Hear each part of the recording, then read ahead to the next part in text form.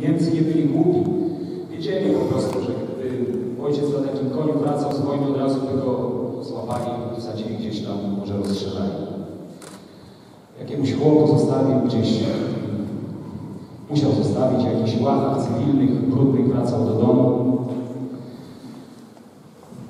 39 rok. Rok klęski. Chcę Wam jeszcze jedną rzecz powiedzieć odnośnie 39 roku. Nie było dwóch agresorów, tylko był jeszcze trzeci agresor. Trzeci agresor zaatakował Polskę od południa. Od południa wkroczył słowacki korpus ekspedycyjny w liczbie kilkudziesięciu tysięcy żołnierzy. Zajęli Spisz i Orawę i w nagrodę za swój udział odbyli Zakopanem defiladę. Niemcy takich uhonorowali, Słowaków. I teraz, dlaczego o tym Wam mówię? W ostatnim czasie na głowę legendarnego ognia majora Józefa Kurasia różni ludzie rzucają gromy. Różni ludzie mówią, jaki on był straszny, on był bandytą. I właśnie często ze słowackiej strony. Tak, on ciągle wytykał. Jesteście tacy sami jak Niemcy. Zaatakowaliście nas. On był żołnierzem, on pamiętał kampanię wrześniową. Zaatakowaliście nas. To jest element polskich dziejów, który czeka też na rzetelne badania, wybadanie, sprawdzenie, zobaczenie tego, jak to jest. Trzeba prawdy. My nie możemy ubarwiać swoich dziejów. My nie mamy nawet czego ubarwiać. Mamy tak wspaniałe świadectwa historii, że nie musimy to robić tak, jak robią to Niemcy. Nie musimy, musimy się tego wstydzić. My musimy tylko światu pokazywać prawdę. I to, co się w ostatnim czasie dzieje, na pewno to do Waszych uszu też dotarło. Powiedziałbym ta zmasowana nagonka na nasz naród dowodzi, że jeszcze bardziej musimy dbać o swoją historię. Musimy napisać ją rzetelnie, musimy napisać ją prawdziwie, bo jak inni za nas napiszą, to nas po prostu nie będzie. Wiecie, co to jest ostracyzm? Czy zetknęliście się z takim określeniem ostracyzm? W Atenach był sąd, tak zwany sąd skorupkowy. Taki był zwyczaj, że jak się jakiś obywatel nie podobał, wszyscy uczestnicy na koniec rzucali do pojemnika skorupkę jajka. Jeżeli wszyscy rzucili, to znaczy, że on jest niepożądany. On jest drań, on jest y, ham, bo nie podoba się nam. Wygonimy go, perikresem tak wygnali. Zatem wygnali go, po prostu. Nie podoba się nam. W polityce międzynarodowej w skali makro odbywa się to tak samo. Najpierw się odczłowiecza naród. Mówi, Polacy odpowiedzialni za Holokaust, bandyci, Żydów do gazu palili wspólnie z nazistami. Nie mówi się Niemcy, mówi się naziści. Konia z rzędem temu, kto odnajdzie taki naród nazistów. Konia z. I się odczłowiecza. I wtedy na forum międzynarodowym, kiedy polska delegacja zabiera głos, to jeden do drugiego mówi, to są, to są ci faszyści, to są ci Polacy, to ci bandyci. Wiecie dlaczego tak jest? My sami jesteśmy temu winni, bo my swoim prawdziwym przekazem historycznym nie docieramy, nie edukujemy. Mało tego, my sami nie uczymy się tej historii. Nie uczymy się tej historii. Jesteśmy ignorantami na temat własnej historii. Jestem o tym przekonany, że sporo ludzi nie jest świadoma już w tej chwili.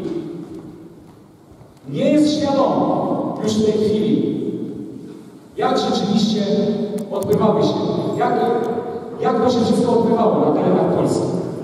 Dla pokolenia mojego, dla pokolenia mojego taty to było oczywiste jak oddychanie. Dla młodych pokoleń już to nie jest takie oczywiste. To świadczy po prostu o, o tej luce historycznej. Dobrze. Narodowy Dzień Pamięci Żołnierzy Wyklętych. Tak jak powiedziałem, to nie byli ludzie, którzy się wzięli skądś tam z nieba, czy skądś wrócili. Nie, oni cały czas to byli, to byli nasi. Oni walczyli, oni walczyli od 1939 roku, walczyli przez cały okres okupacji z Niemcami. Później obce mocarstwa podjęły decyzję za nas, okroili nam część, lwią część terytoriów. Wcześniej wybito naszą inteligencję, kilkadziesiąt tysięcy. Mówi się o Unii Oficerów w Katyniu. Ci oficerowie to byli często zmobilizowani oficerowie, to byli naukowcy, to byli nauczyciele, to byli politycy, historycy, wartościowi ludzie. Złamano kręgosłup. Jeżeli chcesz panować nad narodem, musisz złamać jego kręgosłup. Złamali kręgosłup. Zakopali w dołach, buldożerami zrównali. Dorżnęli resztę w czasie, w czasie okupacji i te resztki dumnych Polaków, te resztki straceńców jeszcze raz, ostatni raz chwycili za broń. Ostatni raz, kiedy już wszystko było stracone, kiedy już nie było żadnej nadziei, kiedy już decyzje zostały podjęte, kiedy już wszystkie mocarstwa zaakceptowały to, kiedy Winston Churchill ogłosił, żelazna kurtyna zapadła nad Europą. Tak jak to jest pokazane w tej animacji Imperium. Z trzaskiem wrota żelazne spadły, a spod tych wrót popłynęła krew. Ludzie z zachodu już nie widzieli tego, co dzieje się tu u nas w środku. A tu rozpoczęła się rzeź i rozpoczęło się tępienie, zabijanie, ściganie, szczucie i dożynanie resztek naszych bohaterów. To byli żołnierze wyklęci, nieliczni, tylko unieśli, wyszli cało z tego. I cóż, można na ten temat powiedzieć.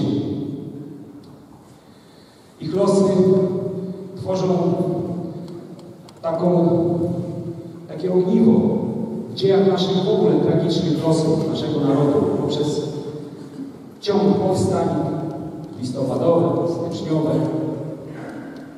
Również to powstanie, które już coraz częściej historycy określają powstaniem antykomunistycznym. 1944-1963, symboliczne daty 63, kiedy zginął ostatni żołnierz wyklęty z bronią w ręku, Józef Franczak, pseudonim Lalek.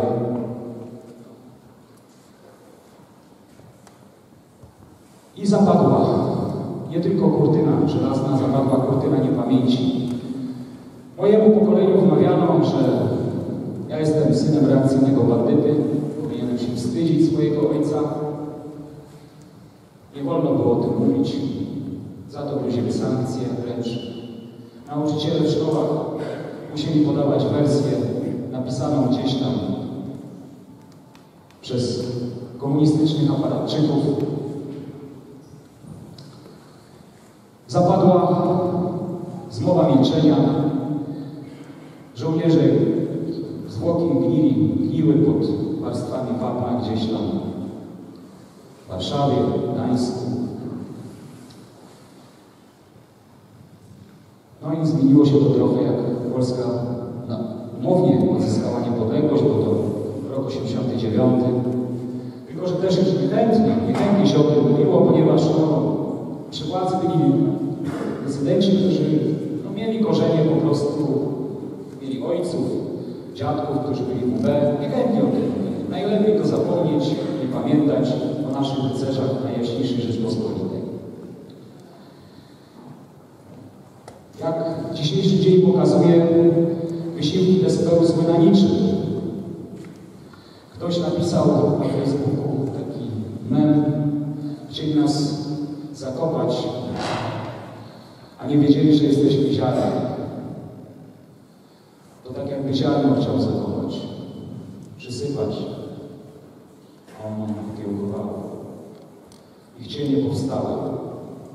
Ja nie mówię o fizycznym jakimś bycie, ale mówię o ich spuściźnie, o ich duchu, o tym, czego się nie da ująć w takim bezpośrednim dotknięciu. Czymś ta idea polskości, idea szlachetności, idea poświęcenia, idea poświęcenia jeden za drugiego. Odzywało się to w słowach papieża, jednym drugim brzemiona moście. To najpiękniejsze. To jest najpiękniejsze w naszym narodzie. I oni są, oni są w samym oku tej idei. Pamiętajcie, tutaj pan dyrektor na, wstępie wspomniał, że Polacy w bardzo słusznie, bardzo mądrze, powiedział pan dyrektor. Ja bym chciał to jeszcze rozszerzyć, powiedzieć takie zdanie, że polskość to nie jest tylko przynależność etniczna, to nie jest tylko przynależność językowa. Polskość to jest też kwestia wyboru. Czy chcesz być Polakiem, czy nie chcesz? Bo możesz mówić płynną polszczyzną, możesz od 50 pokoleń mieszkać na tej ziemi, a Polakiem nie będziesz, bo nienawidzisz tego narodu, nienawidzisz tej ziemi. Nie będziesz Polakiem. Polskość to jest kwestia wyboru, to jest fundamentalna sprawa. Dlatego Polaków nie można warunkować przynależnością etniczną. Pierwsza Rzeczpospolita była państwem wielonarodowym. Wszyscy znajdowali tu schronienie. Ormianie, Żydzi, Tatarzy, muzułmanie. Do dziś dnia żyją. Nikt nie morduje spośród muzułmanów tutaj. Żyją z nami. Bo była Polska atrakcyjna dla nich. Bo polskość to jest kwestia wyboru. Nie dajmy wbić klina między siebie. Nie dajmy się podzielić. Czasem ludzie nie mówiący językiem, nie mówiący, nie potrafiący powiedzieć zlecić dwóch zdań po polsku byli największymi bohaterami. Był taki słynny zakończyk w 20 roku podczas wojny z bolszewikami, Bułak Babakowicz się nazywał. On tam parę słów łamaną polszczyzną tylko powiedział. Ale on powiedział, matka mnie nauczyła najpierw miłości do ojczyzny, a już języka nie zdążyła nauczyć. I siał postrach, siał zgrozę w tych bolszewickich hordach, w, tych, w tej bandzie tych zwyrodnialców. Bali się go jak ognia. Bułak Babachowicz, jeden z najdzielniejszych zagończyków, marszałka Józefa Piłsudskiego. Wspomnę jeszcze moim świętej pamięci ojcu, bo muszę to powiedzieć. W ostatnim czasie Polska z bólem serca, muszę, muszę Wam powiedzieć, że jest obiektem wściekłych ataków ze strony różnych środowisk. Dobrze, że tylko w sferze werbalnej. Opowiem Wam pewne zdarzenie, które miało miejsce. Jest autentyczne. Jak powiedziałem, ojciec wrócił w 1939 roku do domu. No i na zimą 40 roku, w czasie wojny urodził się mój pierwszy brat. On był równo ode mnie starszy 25 lat. Ja po 25 latach się dopiero urodziłem. A on się w samą wojnę urodził, mój brat. I mój tata poszedł do Krawcowej, a na Lubelszczyźnie mieszkaliśmy. Miejscowość jest taka Poniatowa, Poniatowa się nazywa. I tam Krawcowa szyła tu spodnie. No kiedyś w czasie wojny, czy nawet przed wojną, to tak odzież nie była taka ogólna, znaczy była dostępna, niemniej jednak częściej ludzie na zamówienie szyli sobie. Poszedł do Krawcowej, żeby mu spodnie na, na krzciny właśnie swojego pierwszego syna. No i pojechał raz do przymiarki. No, po kilku dniach już poszedł, żeby odebrać te spodnie rzeczone. Przyjechał, przyszedł do niej, ona akurat. Ta pani zapakowała pakunek, te spodnie zapłacił, wyszedł. Wyszedł przed dom Krawcowej, parę kroków zrobił, zajeżdża Schutzpolizei to się nazywała, niemiecka konna policja. Trójka ich była, uzbrojeni po na koniach. Do ojca Wytekenkartę niemiecką. No ojciec tam te słowa rozumiał, chociaż mnie generalnie nie znam niemieckiego, ale to rozumiał. Ja wróciłem dopiero z wojny, nie miałem nic, nawet ślepego świstka przy sobie. Żadnego dokumentu tożsamości. Stoi na, na kartę. Ten Niemiec mówi, dowódca patrolu spojrzał, zeskoczyło z koni, wymierzyli karabiny ojca, bandyt polem, up, pokazał mu ścianę najbliższego budynku. Ojciec stanął pod ścianą i trzyma ten pakunek pod pachą. Popatrzył w niebo, mówi, nie wiesz, że się coś myśli przed śmiercią. Nie myśli się nic. Mówi, tak mi się jakoś tego dziwnie w ustach słodko zrobiło. Spojrzałem w niebo, no bo już karabiny wymierzone. Ten już dowódca miał dać sygnał, żeby strzelać. Wyobraźcie sobie, w domu, pod którego ścianą stał mi tata, mieszkał stary Żyd. W tej społeczności takiej hermetycznej, lokalnej, często było tak, że się nie posługiwano nazwiskami, tylko mówili po prostu jakimiś przydomkami. Ojciec nawet nie pamiętał jego nazwiska. Mówił, że na tego Żyda mówili skrobała. No tak go nazywali. Taki miał przydomek, takie przezwisko, nie wiem, jak to mówicie, ksywkę, skrobała. I mówi, wyszedł na ganek, on ojca znał. Ale nie aż tak dobrze. No, po prostu znali się na zasadzie takiej grzecznościowej, na zasadzie takiej, no, dzień dobry, dzień dobry i to wszystko. I on zaczął po niemiecku nagle rozmawiać z tym. Świetnie mówił po niemiecku. No, widać było, że ten język jest jego naprawdę, widać, że po mistrzostwu się posługiwał. Mówi, rozmowa trwała około pięciu minut. Ten Żyd coś powiedział, Niemiec odpowiedział, znów Żyd coś powiedział, Niemiec odpowiedział. Po opuszczali karabiny, ten oficer do ojca mówi, raus, na Hause. Mówi, trzymam, mówi ten pakunek, idę, mówi, na tych sztywnych nogach, mówi, przed nami oglądam, plecy czasem. Ale wsiedli na konie i pojechali. Mówi, nigdy więcej już tego Żyda nie spotkało. Prawdopodobnie poszedł do gazu. Poniatowie mu podobóz. Za chwilę rozpoczął się akcja ostatecznego rozwiązania, jak to nazywali Niemcy.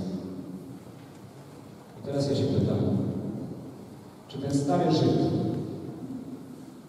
który z narażeniem własnego życia wyszedł W obronie swojego znajomego, nie zasługuje na miano Polaka? Czy on nie zasługuje na miano Polaka? Czy nasze dzieje wspólne z tym narodem, setki dziejów, setki lat wspólnego mieszkania, wspólnych zmartwień mają eliminować? Czy przynależność etniczna jest wystarczającym powodem na to, żeby być Polakiem? Postawcie sobie kiedyś takie pytanie.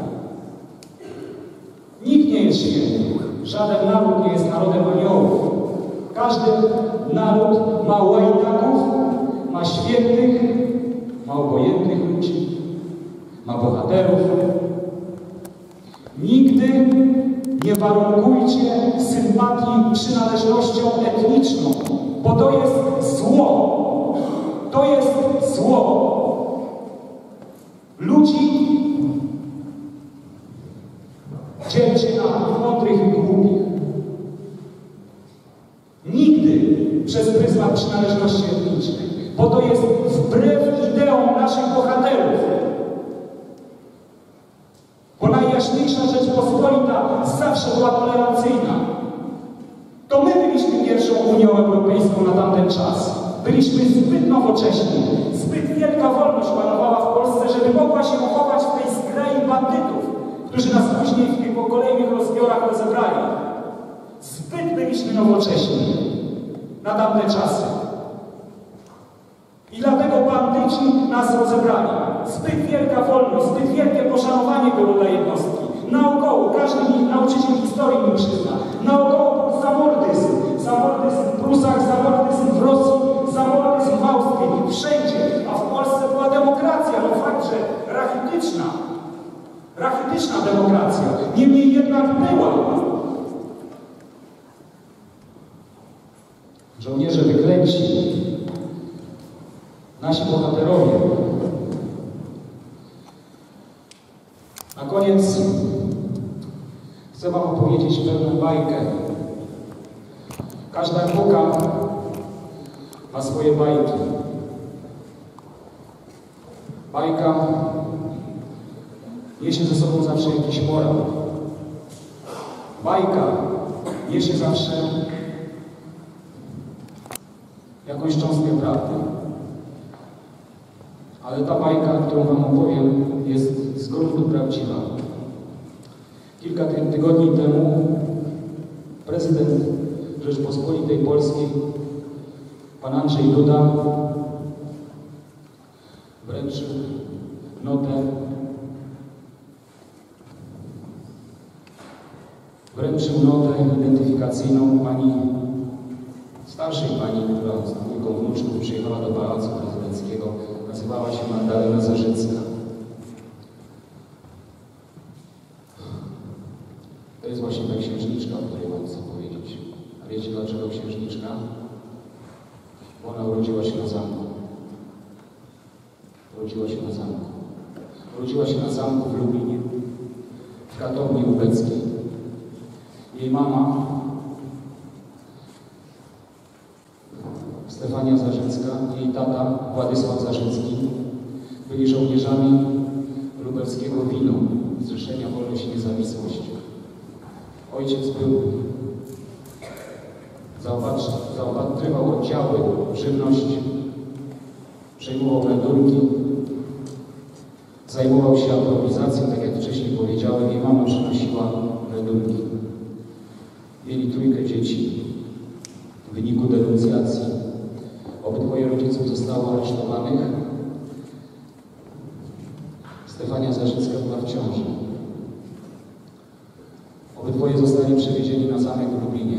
Dzieci zostały na pastwę losu. Najstarszy miało 13 lat, najmłodszy jestem w stanie w tej chwili powiedzieć 6, może 7 lat, 6 chyba najmłodszy. Trójka dzieci. Gdzieś tam się schowali, prawda, jakiejś nicy widzieli przez szpary, jak ubecy rabują ich dom, jak wynoszą ubrania, jak wychodzi jakiś ubek w kurtce ich taty, przed kolegami paraduje. Na tym to polegało. Rabowali po prostu. Jak mieli okazję, rzucali się jak sępy rabowani wszystko. Dzieci zostały na pastwę losu, natomiast rodzice zostali poddani brutalnemu śledztwu. Mówiłem Wam, może jak ktoś był w ubiegłym roku, na czym polegało takie śledztwo. Mój świętej pamięci ojciec na przykład został przez speców NKWD podłączony do gniazdka elektrycznego. Miał dwa gołe przewody włożone między zęby. Czuł swąd palących się zębów swoich. W, twarz, w ustach wytworzył się łuk elektryczny. Tak robili spece od torturologii z, NKWD. Podobnemu śledztwu zostało im poddani rodzice pani Magdaleny Zarzyckiej. Jej mama w ciąży, jej tata. Matkę torturowano straszliwie, bito. Wszystkie możliwe metody, jakie tylko jej przyszły do głowy. Zrywanie paznokci, bicie, łamanie palców, miażdżenie w szufladzie. A ich tata był obok, związany i Ubek siedział i mówi, słuchaj, synu, jak twoja suka krzyczy z twoim szczenięciem w środku. A później bili jej męża, a jej z kolei kazali słuchać, jak on krzyczał.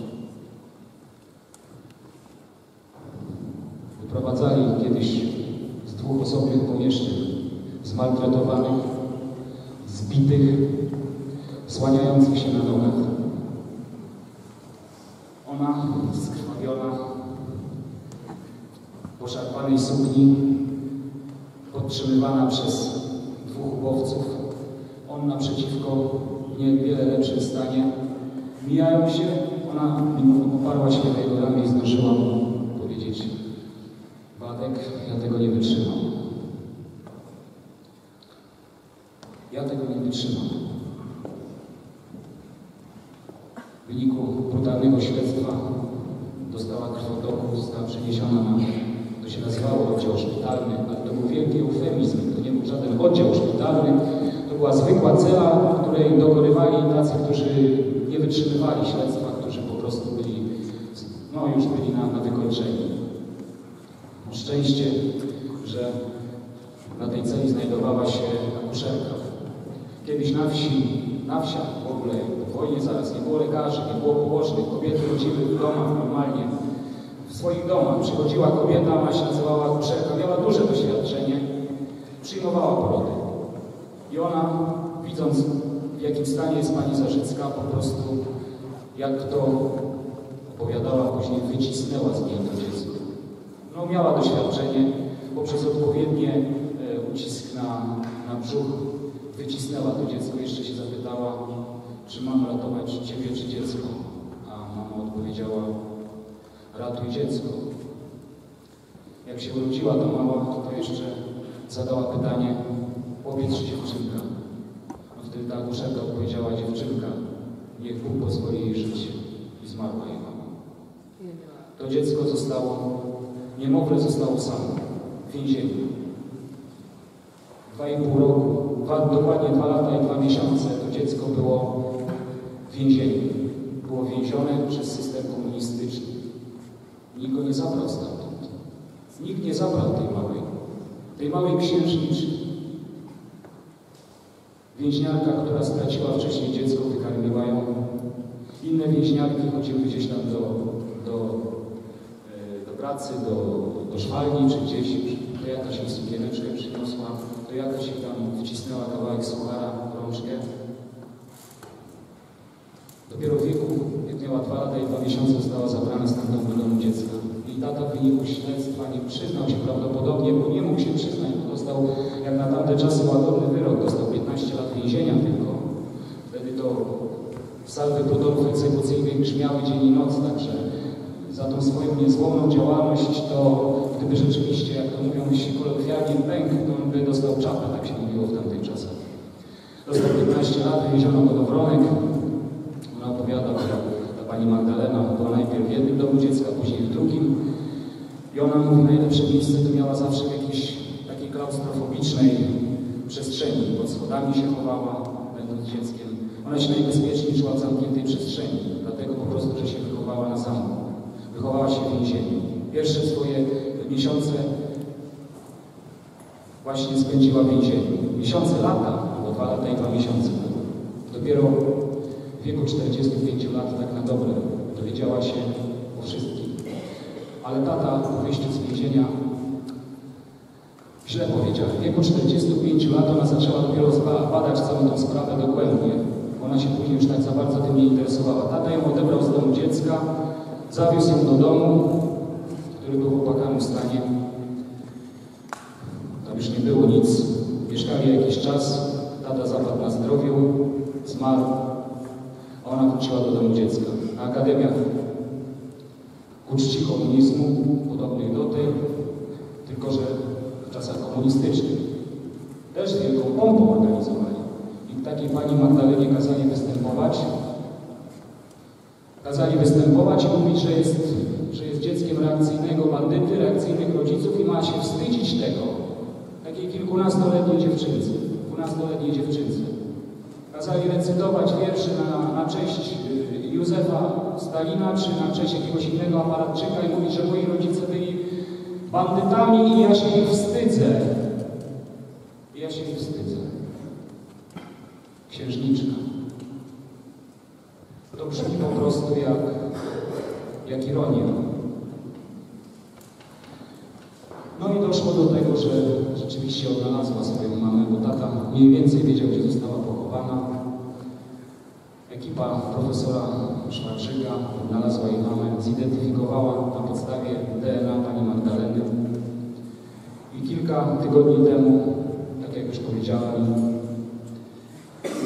kilka, dni temu, kilka tygodni temu prezydent Duda wręczył notę identyfikacyjną pani Magdalenie, że już nie ulega żadnej wątpliwości, że kobieta, która została odnaleziona w dole w śmierci, to jest jej mama.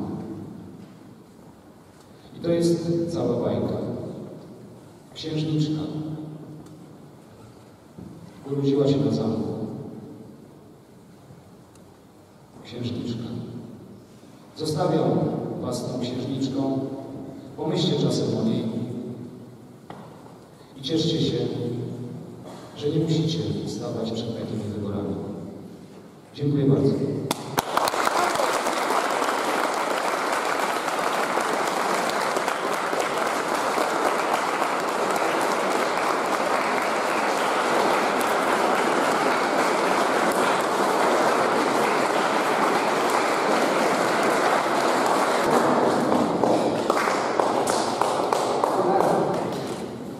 W swoim i myślę też w Waszym imieniu chcę bardzo serdecznie podziękować Panu Miedosławowi.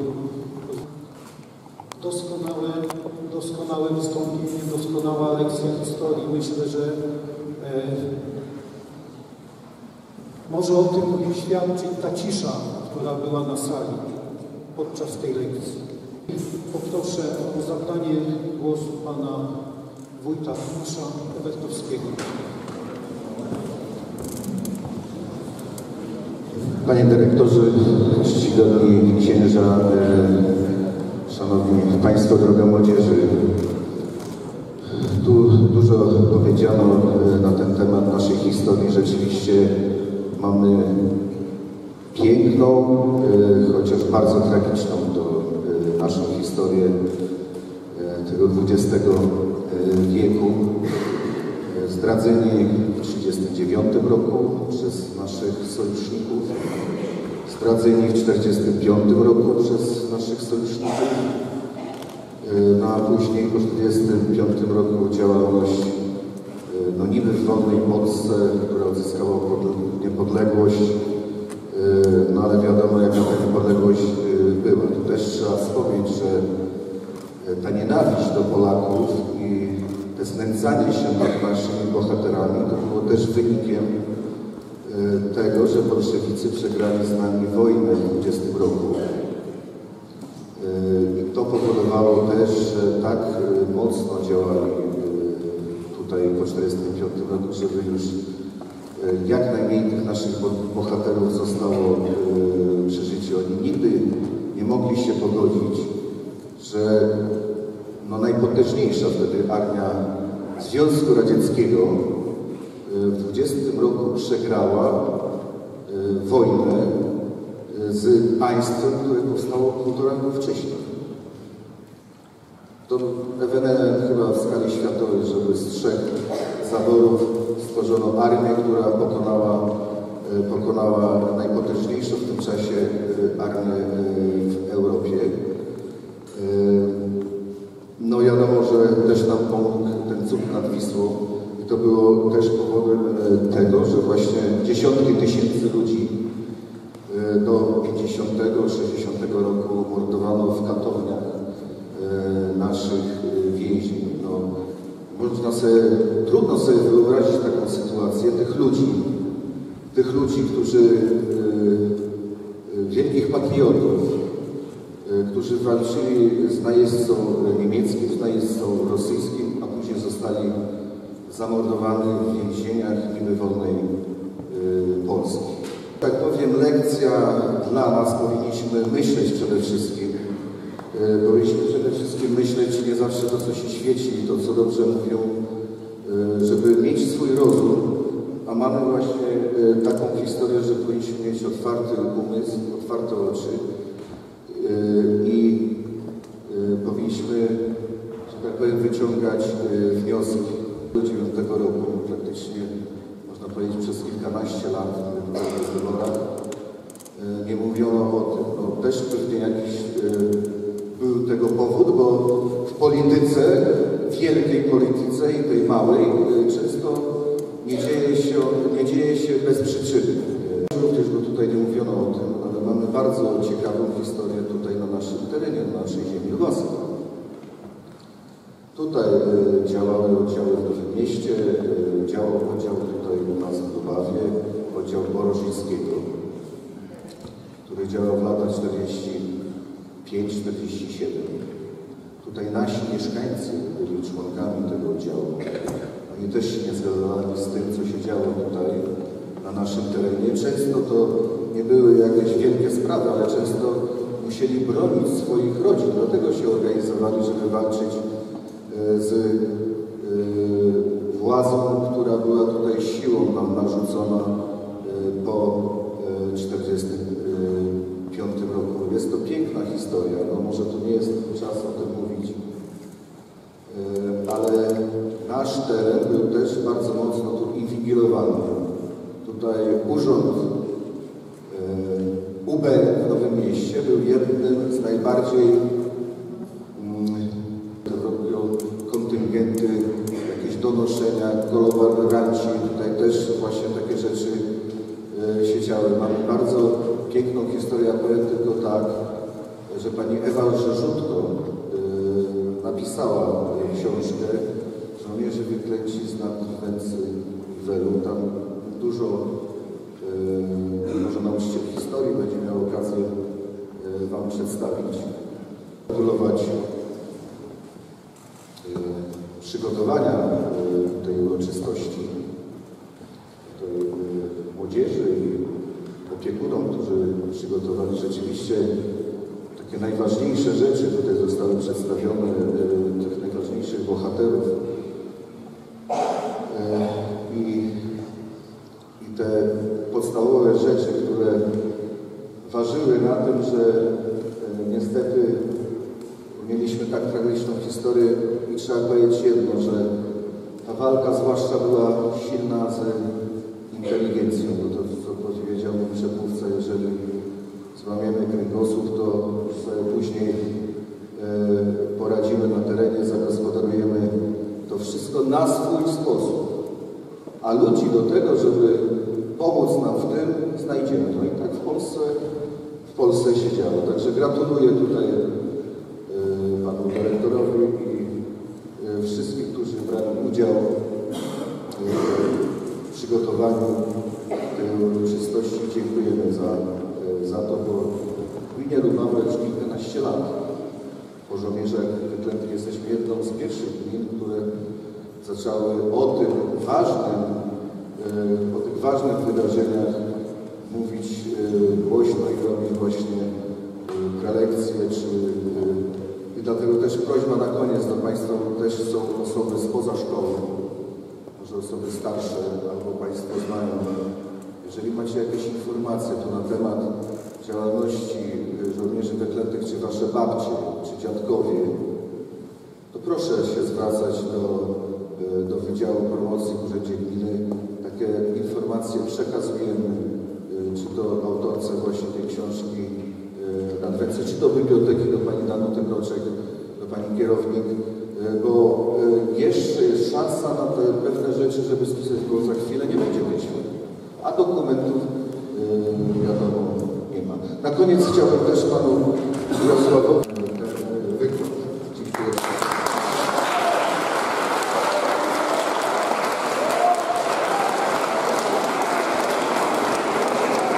Rzeczywiście, powiem szczerze, nie jest dla mnie zaskoczeniem, że akurat gmina Lubawa e, tutaj jest jakby w awangardzie tego kultywowania pamięci żołnierzy wyklętych, ponieważ to się da dostrzec po prostu.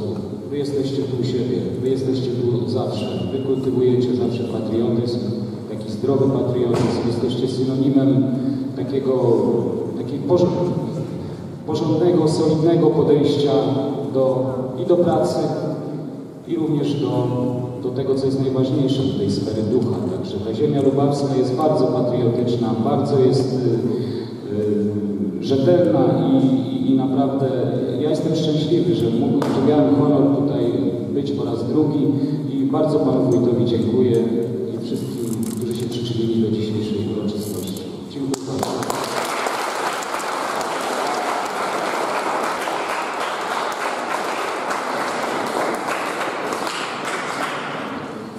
Dobrze, moi drodzy, chciałbym jeszcze na zakończenie y, bardzo podziękować za przybycie gościom.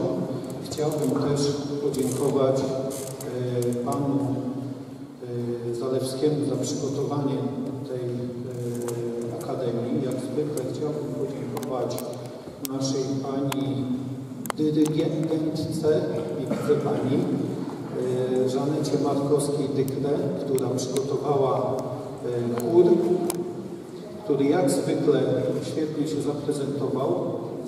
Chciałbym podziękować wszystkim zaangażowanym osobom w przygotowanie tej uroczystości, pocztowi sztandarowemu, y, pani Groszkowskiej, która przygotowała ten poczet i wszystkim, wszystkim, wszystkim y, nauczycielom i Wam, moi drodzy, za tak piękny występ.